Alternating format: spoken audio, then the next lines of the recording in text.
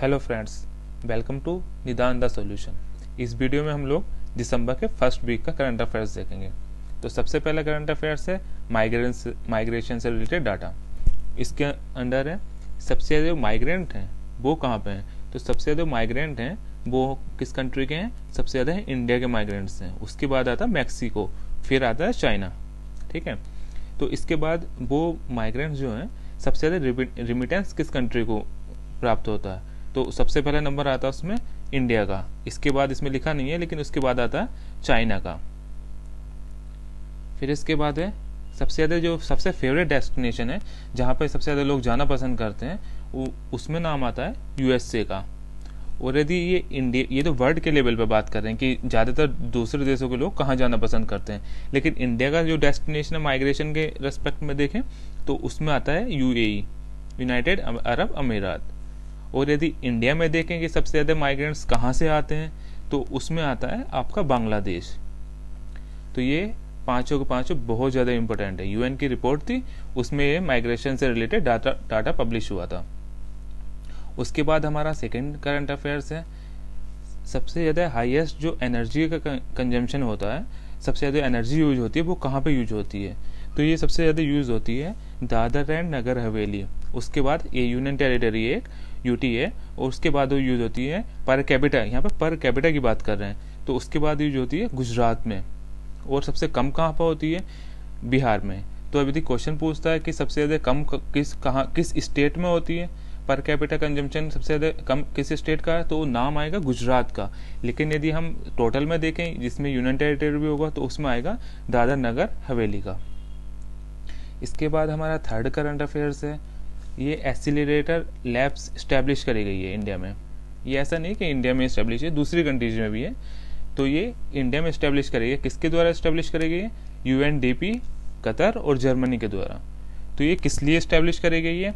To identify मतलब जो grass root मतलब इतना पोल्यूशन का इशू हो रहा है क्लाइमेट चेंज का इशू हो रहा, है उनको लोकल लोकल लेवल पे कुछ सॉल्यूशन उनका मिले, इसके लिए लैब्स इस्टेब्लिश करी गई हैं। ये सिस्टिथ लैब सिस्टिथ साठवीं लैब इस्टेब्लिश करी गई। दूसरे मतलब इंडिया में पहली है, लेकिन दूसरी कंट्रीज़ में पहले से इस्टेब्लिश करी जा चुकी है। किसने इस्टेब्लिश करी है? यूएनडीपी कतर और जर्मनी में। जर्मनी ने।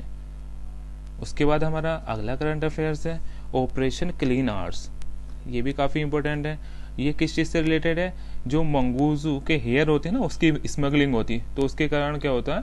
उसको मार दिया जाता है। तो इससे क्या होता है? उसकी पॉपुलेशन जो है, काफ़ी ज़्यादा डेंजर में आ गई है, काफ़ी ज़्यादा कम हो रही है। तो उसी से डील करने के लिए कि उसका एक्सप्लोरेशन ना हो, उसको मतलब बिना परमिशन के ना इस तरह का कुछ किया जाए तो उसके लिए operation clean art arts start किया गया है।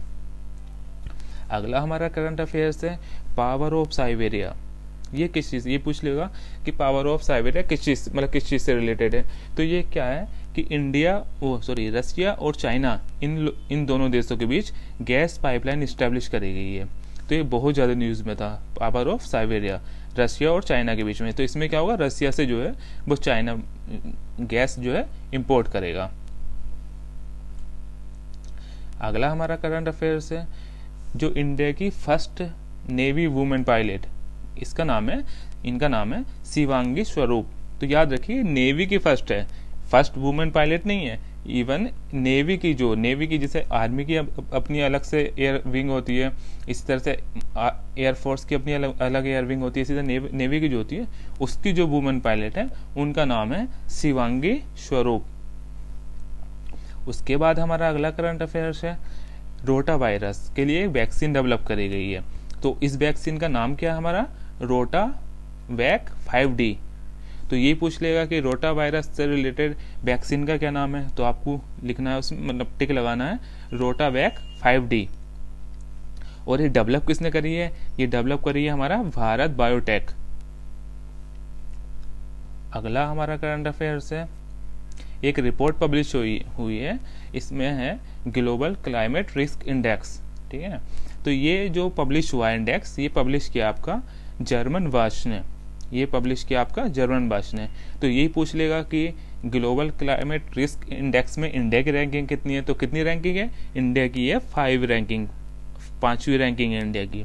और टॉप पोजीशन पे कौन है? जापान। सबसे ज़्यादा इंपॉर्टेंट तो यही है कि इंडिया की कौन सी रैंकिंग है। लेकिन कभी कभी ये भी पूछ लेता कि जापान मतलब टॉप पे कौन है। अगला हमारा बहुत ज़्यादा इंपॉर्टेंट करंट अफेयर्स है। इस U N F C C COP twenty five अब तक 24 हो चुकी थी, ये ट्वेंटी फिफ्थ हुई है। और ये इसलिए भी काफ़ी ज़्यादा न्यूज़ में था, पहले चिली में होने वाली थी, लेकिन चिली में नहीं हो पाई। कुछ वहाँ के इंटरनल पॉलिटिकल मैटर्स की वजह से वहाँ पर नहीं हो पाई है।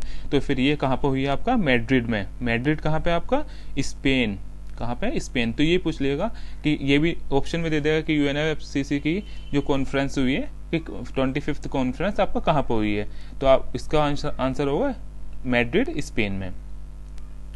अगला आपका करंट अफेयर्स है, Bharat bond exchange traded fund ठीक है?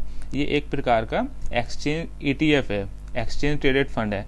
तो ये पूछेगा कि ये क्या चीज़ है? Bharat bond exchange traded fund किस चीज़ का ईटीएफ किस चीज़ का है। तो ये बताना है कि ये क्या है कि जो काफ़ी सारे पीएसयू के अलग अलग तो बॉन्ड्स नहीं पब्लिक मतलब बिक रहे थे तो उन्होंने क्या किया कि कुछ पीएसयू के बॉन्ड को एक साथ वो लोग नीलामी मतलब उनको बेचेंगे एक तरह से।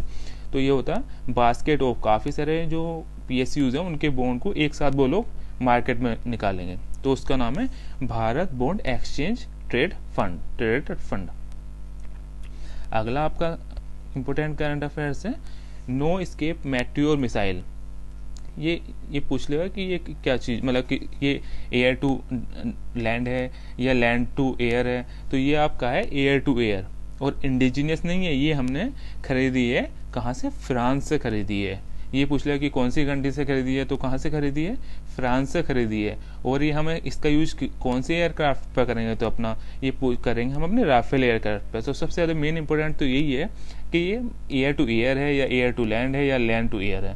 तो ये किस किस किसके लोकेशन है? मतलब कहाँ से कहाँ को फायर होगा? एयर से एयर में फायर होगा। और हमने कहाँ से खरीदा इसे? हमने खरीदा इसे फ्रांस से खरीदा है। और अगला हमारा बहुत करंट अफेयर्स है ऑपरेशन चमाल। ऑपरेशन चमाल जो है हमारा, वो है फ्रांस का ऑपरेशन है। ये ऑपरेशन चमाल जो है, वो फ्रांस का ऑपरेशन है, जो सीरिया और इराक में इस्लामिक स्टेट का जो आईएसएस की हम लोग अभी काफ़ी ज़्यादा न्यूज़ में था काफ़ी कुछ समय पहले, अब तो उसका जो मेन हेड था वो मारा गया है। बगदादी, लेकिन ये इसको अभी भी मतलब उसका आइडियोलॉजी तो अभी भी स्प्रेड है तो उसको कंटेन करने के लिए, क्योंकि उसका इस तरह का फिर दोबारा से एक्सट्रा मतलब फिर दोबारा से वो इस्टेब्लिश ना हो जाए, उसको कंटेन करने के लिए फ्रांस ने स्टार्ट किया है ऑपरेशन चमाल इस सीरिया और इराक के लिए। अगला हमारा करंट अफेयर्स है the right to livelihood award ये किसे दिया गया है? पहली बात तो इस जो the right to livelihood award है, इसको हम कह, एक दूसरे नाम से बोलते हैं, अल्टरनेटिव नोबल प्राइज भी कहते हैं इसको। और ये दिया गया है आपका यानो मानी को। इन्हें दिया गया काफ़ी इंपॉर्टेंट है ये भी। ये पूछ लिया कि the right to livelihood award किसे दिया गया है? तो यानो मानी को दिया है ये। अगला हमारा करंट अफेयर है टोरिफेक्शन एक न्यूज़, ये टर्म काफ़ी ज़्यादा न्यूज़ में था। ये किस लिए किस चीज़ से रिलेटेड है? ये क्या है जो हमारा बायोमास है ना, जो उसको कन्वर्ट करेगा कोयल लायक मटेरियल में। जैसे स्टेबल बर्निंग सुना होगा कि जो पंजाब उंजाब में है, वो अपना खेतों में इसी तरह से जो वेस्ट बच जाता है, वहाँ पे छोड़ देते हैं, उसे जलाते हैं। तो उस प्रॉब्लम को डील करने के लिए जो वहाँ से बायोमास मिलेगा, उसको कोयल लाइक मेटेरियल में कन्वर्ट करेंगे, जिसका यूज़ एनर्जी प्रोडक्शन में होगा। तो इससे क्या होगा, जो पोल्यूशन की प्रॉब्लम होती है स्टेबल बर्निंग के थ्रू उसको काफ़ी हद तक डील कर सकेंगे। अगला करंट अफेयर है, काफ़ी इंपॉर्टेंट है। ये Chennai Kanyakumari industrial corridor Chennai Kanyakumari industrial corridor ये किसकी मदद से हम लोग इस्टेब्लिश कर रहे हैं? एशिया डेवलपमेंट बैंक तो ये पूछ लेगा कि कौन सी मतलब जैसे कौन सी ऑर्गेनाइजेशन या तो वर्ल्ड बैंक हमारी हेल्प कर रही है, या फिर यूएन हमारा हेल्प कर रहा है, या कोई सी कंट्री का नाम दे देंगे कि इस, को इस्टेब्लिश करने में इंडस्ट्रियल कॉरिडोर को कौन सी ऑर्गेनाइजेशन या कौन सी कंट्री हेल्प कर रही है? तो उसका आंसर होगा आपका एशियन डेवलपमेंट बैंक उसके अलावा नेक्स्ट करंट अफेयर्स है हमारा। ये फ़र्स्ट कंट्री जिसने हज की जो पूरी प्रोसेस है डिजिटल कर दी है, ठीक है ना? उसके लिए अब आपको पेपर ओपर वर्क की ज़रूरत नहीं पड़ेगी। सब ऑनलाइन सिस्टम होगा। जिसे भी मतलब जाना है, अपना मतलब रजिस्ट्रेशन करवाना है। तो वो कौन सी कंट्री है? इंडिया है। अगला आपका करंट अफेयर्स है controller general of accounts controller general of accounts ये कौन बनी है? ये बनी है आपकी सोमा रॉय वर्मन। काफ़ी इंपॉर्टेंट है भी। सोमा रॉय बर्मन, कौन है हमारे कंट्रोलर जनरल ऑफ़ अकाउंट्स इसे कैक से कंफ्यूज मत करेगा अगला हमारा करंट अफेयर्स है South Asian games South Asian games ये कहाँ पर हो रहे हैं? नेपाल में हो रहे हैं। अगला हमारा करंट अफेयर्स है कामुरी टाइफून कामुरी टाइफून ये कहाँ पर आया था? ये आया था फिलीपींस में। और टाइफून क्या होता है? एक तरह का ट्रबल साइक्लोन होता है। अगला हमारा करंट अफेयर्स है। एक कॉन्फ्रेंस हुई है। किस से रिलेटेड लैंडस्लाइड रिस्क रिडक्शन और रिजेलियंस तो इस लैंडस्लाइड से लैंडस्लाइड से रिलेटेड एक कॉन्फ्रेंस हुई है। कहाँ पर हुई है? ये आपकी हुई है दिल्ली में। अगला यूपी के लिए बहुत ज़्यादा इंपॉर्टेंट है। All India police science congress ये कहाँ पर हुई है आपकी? लखनऊ में हुई है। All India police science congress अगला आपका इंपॉर्टेंट न्यूज़ है. Golden award of I F C golden peacock award of I F F I ये मिला है किसको पार्टिकल्स ये मूवी का नाम है, इसको मिला है. Golden peacock award of I F I अगला करंट अफेयर्स है. गांधी पीडिया गांधी पीडिया ये ये किस लिए न्यूज़ में था? ये एक ऑनलाइन रिपोजिटरी है, जिससे गांधी जी के लाइफ से रिलेटेड जितनी भी चीज़ें हैं, यहाँ पे हमें उनकी सबकी इन्फॉर्मेशन मिलेगी। तो ये किसके द्वारा इस्टेब्लिश करी गई है? ये आईआईटी खड़गपुर के द्वारा और ये national council of science museum ये दोनों मिलकर गांधी पीडिया को डेवलप कर रहे हैं। अगला हमारा करंट अफेयर्स है, ये करमबीर चक्र। ये प्राइज है, ये करमबीर चक्र प्राइज किसे मिला है? ये मिला है आपको राहुल अधिकारी को। किस किस लिए मिला है? उनका एजुकेशन फ़ील्ड में कंट्रीब्यूशन के लिए। और दिया किसने हमारा? आई कोंगो, एक एनजीओ है, इसने दिया है और यूएन इन दोनों ने मिलकर ये प्राइज दिया है। नाम है इसका करमबीर चक्र। तो इम्पोर्टेंट तो यही है कि करमबीर चक्र किसे मिला है? तो याद रखिएगा, राहुल अधिकारी को। अगला करंट अफेयर्स है, संथाली लैंग्वेज ये मतलब फ़र्स्ट टाइम ये ऐसी लैंग्वेज जिसमें मेनली तो इंग्लिश और हिंदी में डिस्कशन होता है राज्यसभा, लोकसभा में तो ये फ़र्स्ट टाइम वहाँ पर राज्यसभा में यूज़ करी गई है, संथाली लैंग्वेज तो ये पूछ लेगा कि फ़र्स्ट टाइम कौन सी लैंग्वेज है जो राज्यसभा में यूज़ करी गई है? तो इसका नाम है संथाली लैंग्वेज तो थैंक यू इसमें यही है, फिर आज या कल में हम लोग सेकेंड वीडियो भी अपलोड कर सेकेंड वीक का वीडियो भी अपलोड कर देंगे।